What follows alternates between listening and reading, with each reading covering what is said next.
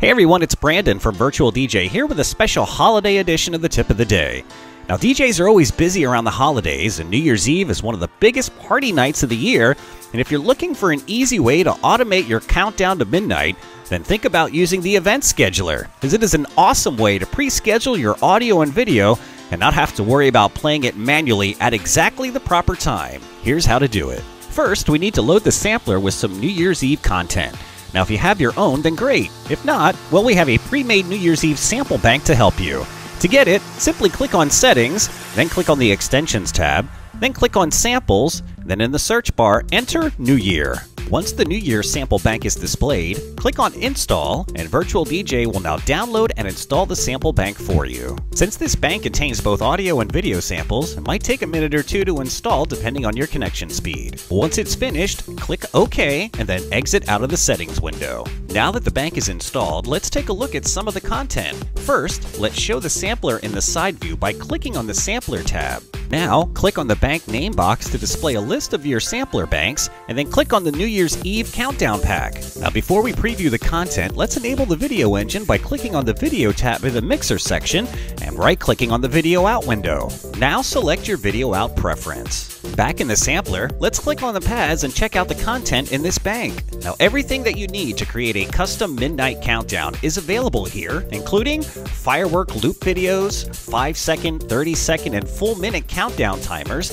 and some audio countdowns as well. 10, 9, now, let's use the event scheduler and start building our automated countdown. Click here and open the event scheduler and click on the plus button to create a new event. Now I want to schedule a one minute countdown video sample to begin at exactly 11.59. So in the what drop down box, I'll select play a sample, then select the one minute countdown video sample. Next, in the when box, I'll select play at and enter 2359 as the scheduler uses 24 hour time format. Next, you can give your event a custom name or simply leave the box as is and Virtual DJ will name it automatically as shown. Now, click the save button and that's it. Now click on start and Virtual DJ will automatically play the sample at exactly 11.59 p.m.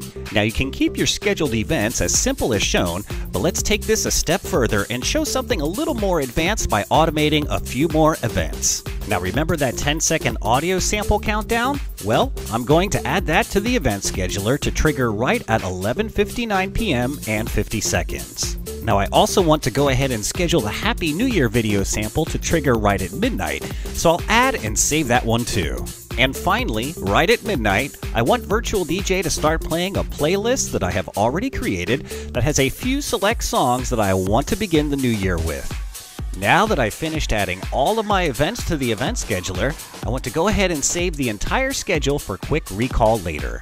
Then, when you are at your gig and you are ready, simply open the event scheduler and if needed, recall your New Year's Eve preset and click on start. Now relax a little and let Virtual DJ handle your countdown with precision and ease. 10, 9, 8, 7, 6, 5, 4, 3, 2, 1. That'll do it for this special holiday edition of the Tip of the Day. We hope you found it helpful. And from everyone here at Atomix, we wish you a very happy new year. Be sure to stay on the lookout for even more new and exciting features in Virtual DJ.